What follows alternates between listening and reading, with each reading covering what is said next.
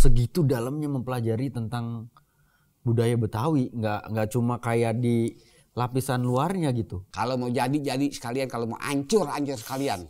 Udah. Nah, mungkin Bang Manda khawatir kalau anak Bang Mandra yang cantik itu dideketin sama cowok, khawatir gak Bang?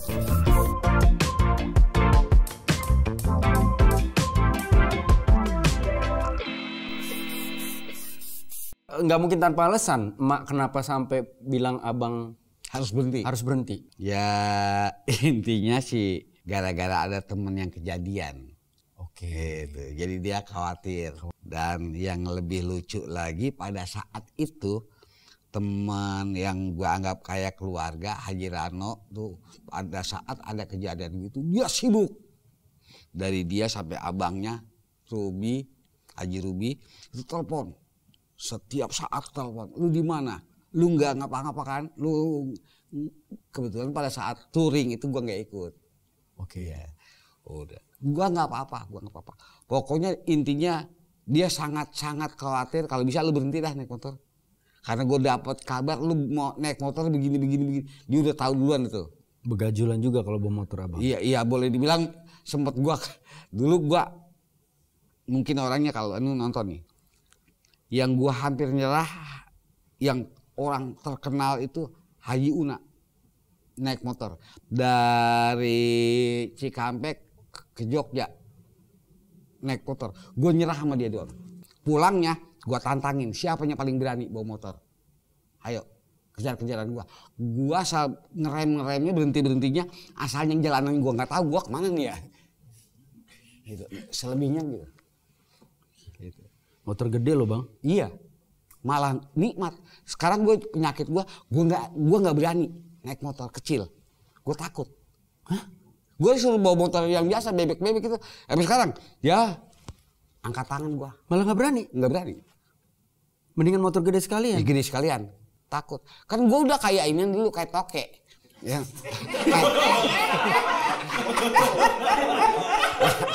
kayak to kayak tokrek nemplok di gajah gitu. Iya iya iya. iya.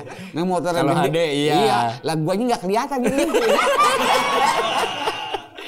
Cuma motor doang ya kenceng. Iya iya iya. gitu. Berarti bukan tanpa alasan juga waktu itu sinetron Renegade eh Mandraget. Mandraget, sorry. Mandraget dibuat. Iya kan dulu ada Renegade kan, ini Mandraget dibuat. Karena itu juga bang, Iya. karena kecintaan lo sama motor. Dulu ada salah satu kejadian yang lu- boleh dibilang lucu ya. Pada saat itu kan anggaplah itu PH-nya gue punya. Ya betul. Penulisnya juga gue punya. Ada salah satu adegan gitu. Itu syutingnya di Subang. Kejadiannya. Nah karena memang dianggap ini gua gua terus terang aja gua takut nih gua kurang tidur karena malam bikin naskah siang syuting. Siang bikin naskah malam syuting. Jadi kurang tidur gua. Nah ada salah satu adegan itu ini jalanan ke sini, ini jalanan kereta dari sini mari. Nah sementara gua harus kejar-kejaran sama mm, mobil. Gitu. Jadi kalau yang namanya pinggir rel kereta api kan pada umumnya pinggir jalannya itu pasti kerikil. Ya betul. Yang kalau tiba-tiba mobil di rem nggak bakal berhenti, kerikil. Iya. Nah akhirnya sutradaranya Agus Patirani tahun 2000 itu gua harus naik motor boncengan yang larinya bareng harus begini nih. Kamera di sana. Shoot gitu. Dan harus kereta Bromo yang kencang gitu kan. Ngimbangin. Nah ini mobil sini. Akhirnya inisiatif dengan kesepakatan kita cari stand ini Oke. untuk iklan itu. Iya. gah gah. Oke? Iya. begitu stand in bawa dari Jakarta bawa ke Subang. Wow udah biasa dah stand in gayanya yang Iya. banyak kan yang tengil dah Iya. Oh, ngerasa gua bawa motor Iya, gede iya. gitu udah belum lagi tukang bangga banggain ada Iya, dong keneknya Iya. gitu. begitu ngeliat medannya angkat tangan Berarti jago dong dia bawa motor angkat tangan. lah kagak nggak sanggup nggak berani lah nggak berani wah saya katanya kalau jalan begini di belakang saya mobil ya iya kalau saya jatuh ini mobil kagak bakal berhenti nih selesai saya batal nggak jadi Gak jadi stand innya. Iya nggak nyerah dia. Ya sekarang gimana kalau gua Kalau gua nggak mau juga, Iya. ini nggak jadi Nggak nih jalan, syuting. betul. Ya akhirnya udah gitu PH gua kan. Iya benar. Cerita-cerita gua. Iya. Sampai yang ada di benak pada saat itu apa? Kalau mau jadi jadi sekalian, kalau mau hancur hancur sekalian. Udah.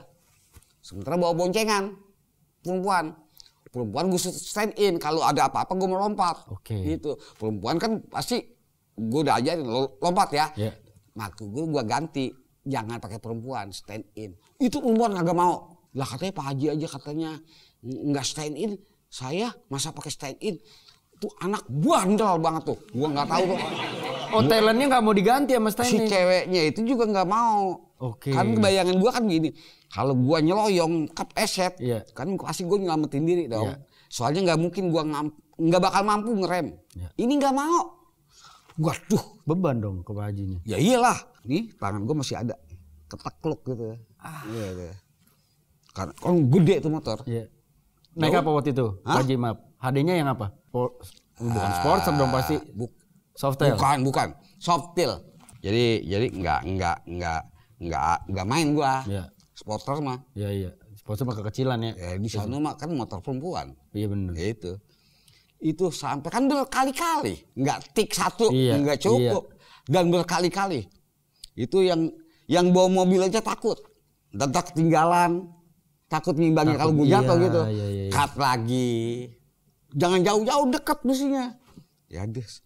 Pernah punya pengalaman kayak gitu kira-kira. Itu cedera Hah? tangan gara-gara itu. Kedengklek gitu. Karena nahan ini perempuan. Gue bilang gitu. Iya. Ini ada nih. Jadi ini. Gila. Ya pengalaman. Pengalaman. Iya. Motor 18 men. Ade. Zaman itu. Iya zaman itu. Gokil. Secinta itu Bang Haji sama Harley Davidson. Artinya gini gini. Ini udah punya. Kok ya kayak gini katanya belum gitu kan. Jadi kayak Lego gitu. Iya, betul, Iya, betul, kayak gitu-gitu dah. Oh ini. Sampai yang paling bagus apa sih gitu. Ya, ada screaming. Oh, screaming cc-nya juga lebih gede. Coba gua pakai itu. Gitu.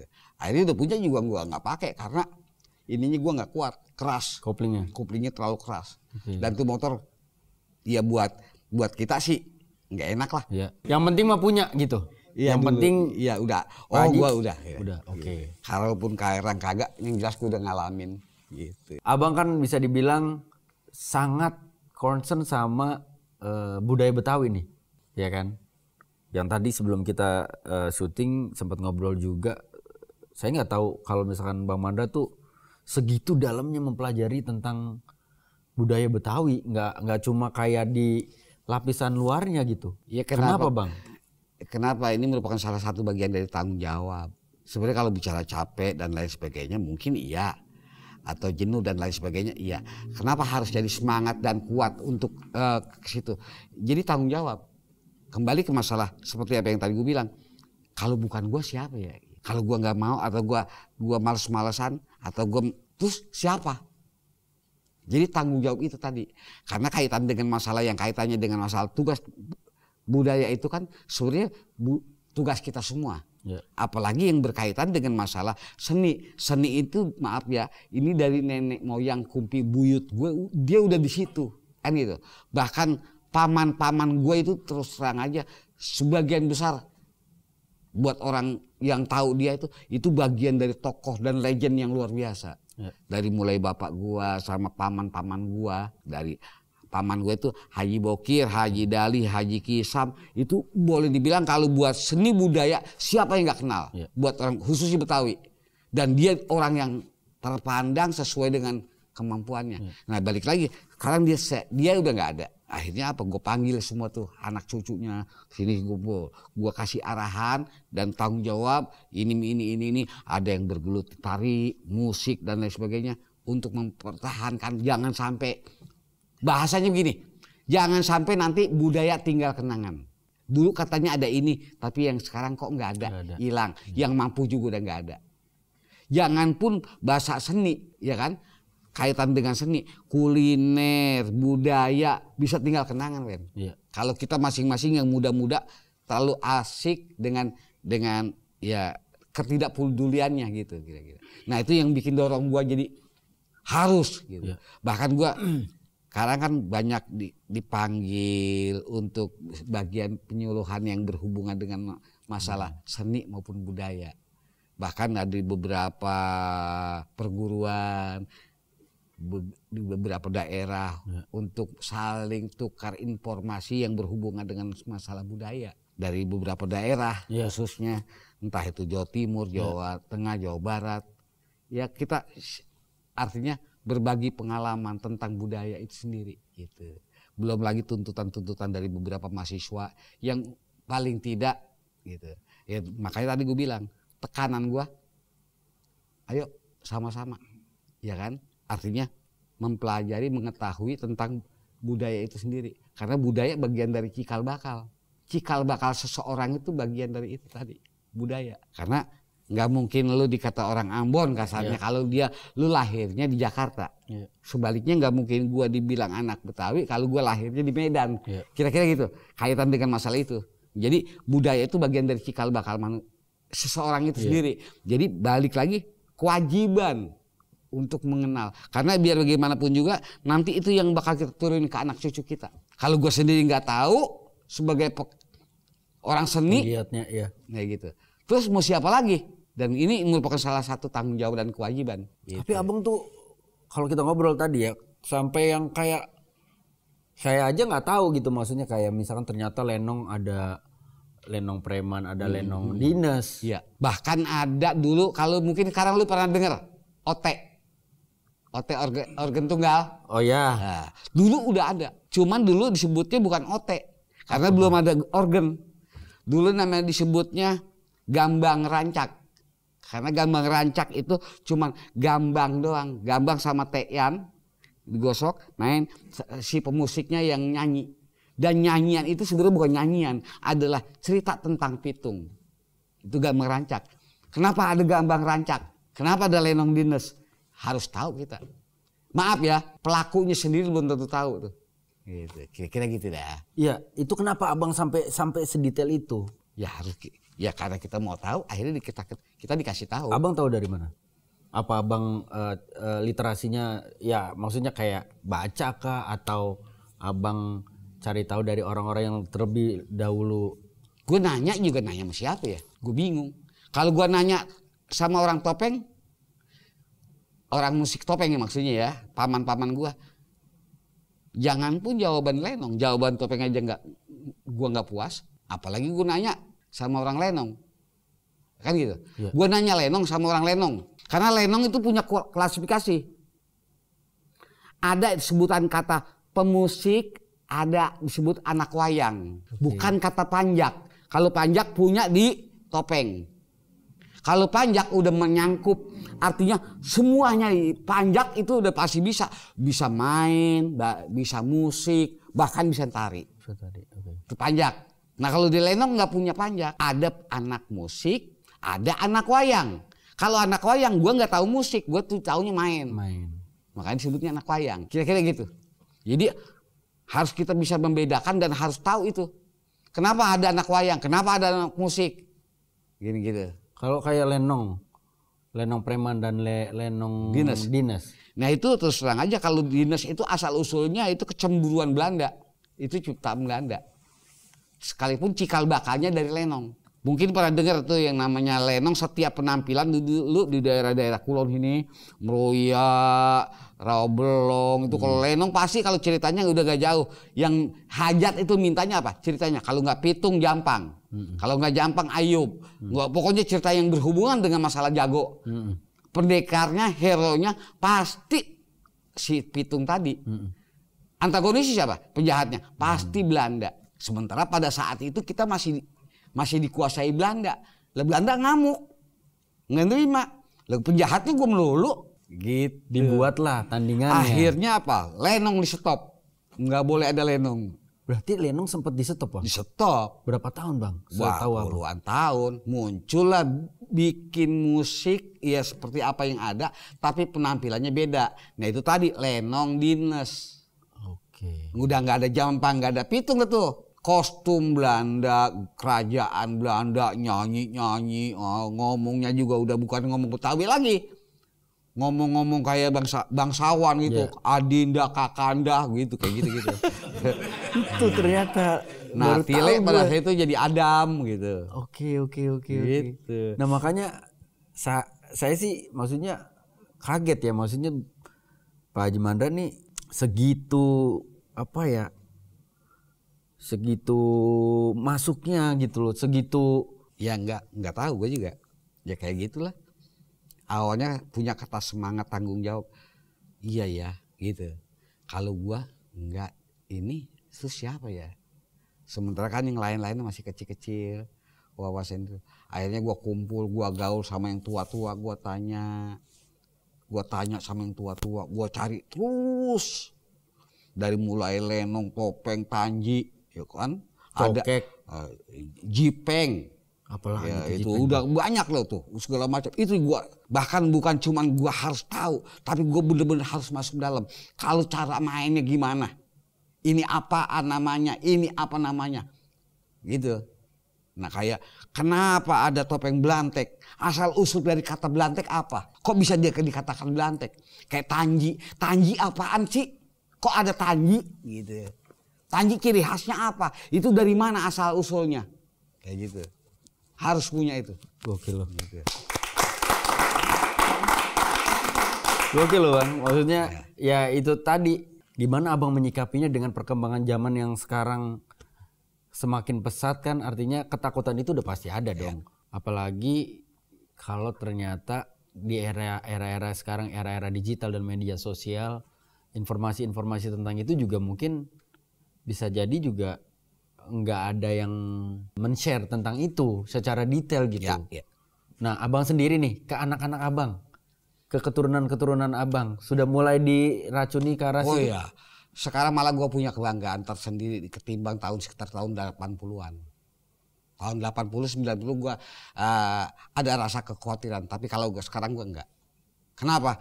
Karena gue lihat sendiri dengan ada kata 80-an itu hampir rata-rata personil yang ada di dalam eh, kesenian tradisional pasti satu pemainnya sudah tradisional, kesenian tradisional dipimpin dengan orang tradisional, bahkan manajemennya gaya tradisional.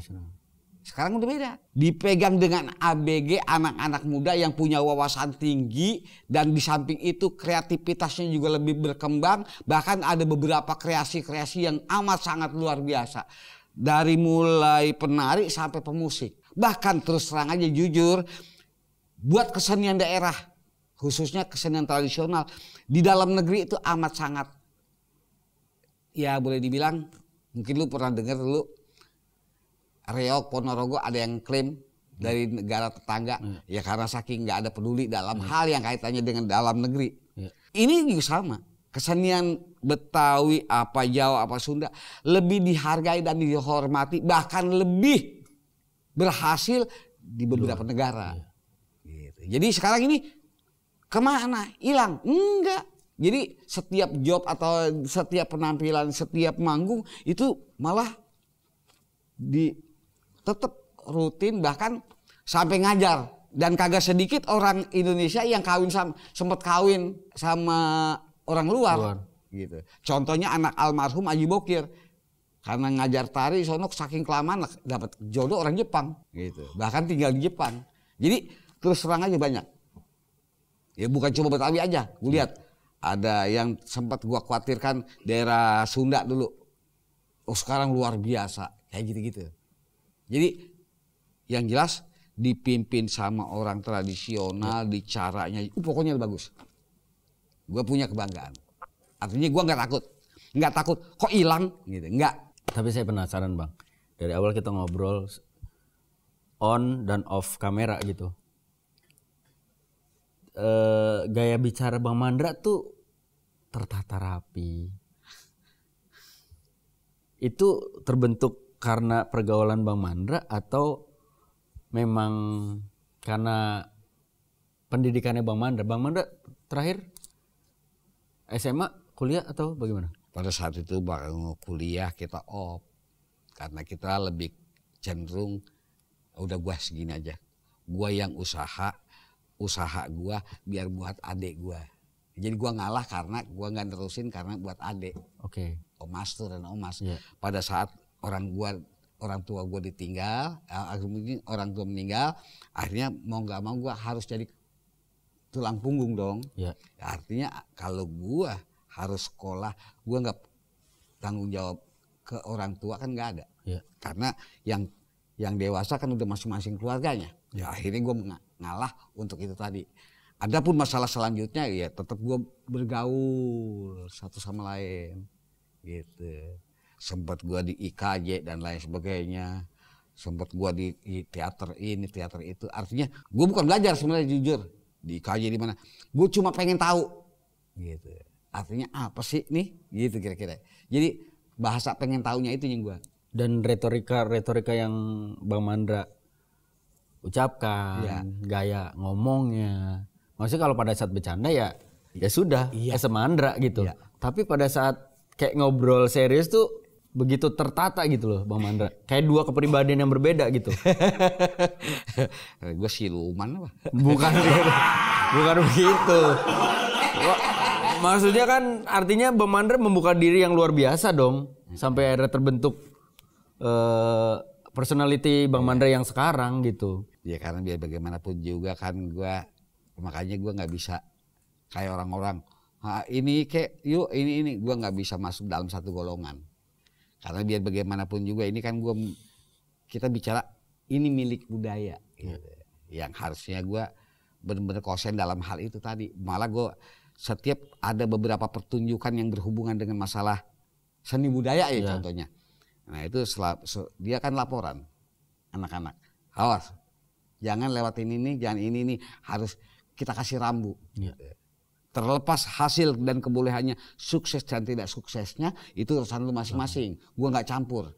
Tapi yang jelas kaitan dengan masalah tatanan yang nggak boleh dilanggar harus dengerin gitu. Entah itu kemarin macam kayak anak almarhum Haji Nirin, ya yang si Ocit si Ocit itu, apalagi anak-anaknya almarhum eh, Haji Bokir. Nah, jadi sebenarnya dari dari yang tua-tua sampai yang muda-muda tempat ngobrolnya di tempat gua gitu. Oke. Artinya kita kasih jangan. Kenapa kok begini? Kenapa begini? Karena ada ini kan ada sebab dan akibat gitu kan kira-kira. Kok ada kemunduran ini? Ya coba evaluasi kan kira-kira gitu. Jangan salahkan ini. Ini gitu. Kenapa kesenian dulu tradisional kok begini? Ya sekarang coba kita pelajarin. Kenapa begini begini begini? Sekarang kan ada perkembangan Iya. Bahkan ada beberapa itu kebetulan adik sepupu yang mungkin kalau buat di di luar itu cukup dikenal namanya Ibu Kartini Kartini namanya Kartini Iya. nah itu dia boleh dibilang kalau di tari Betawi bahasanya udah maestro Maestro. Gitu. maestro dia punya murid dari mulai anak TK sampai orang-orang Hmm. luar biasa deh gitu kira-kira itu. Jadi makanya kekhawatiran dalam hal itu nggak ada lagi. Ya. Ya udah, ayo paling tinggal semacam kayak kasih pakem-pakem yang ada yang nggak boleh tinggal. Kalau lo lawan jangan salahkan kalau ini bakal jadi begini kan kira-kira gitu. Yang penting Bang Mandra sudah sudah menempatkan diri sebagai orang yang begitu concern sama budaya Betawi dan sebisa mungkin juga tetap menularkan itu ke eh, sebagai bentuk regenerasi ke yang muda-muda kan. Iya. Nah, kalau itu Bang Mandra udah nggak khawatir deh. Nah, mungkin Bang Mandra khawatir kalau anak Bang Mandra yang cantik itu dideketin sama cowok, khawatir gak Bang? Karena gue udah percaya sama dia. Oh, keren. Ya, percaya artinya itu hak dia. Silakan dia bisa milih. Malah kadang-kadang gue suka ini ngasih tahu gue cuma pernah tuh ngomong sama dia. Neng, kalau masalah pacaran biasa laki-laki masa pacar, masa pendekatan itu terus terang aja. Itu semua tukang bohong.